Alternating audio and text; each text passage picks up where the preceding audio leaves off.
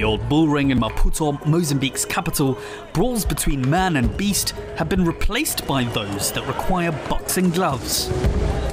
In the bowels of the arena, Alfredo Niyuwane is training fighters. Most of the 34 students at Alfredo's gym come from tough backgrounds. They age from 12 to 19 years, and five are women.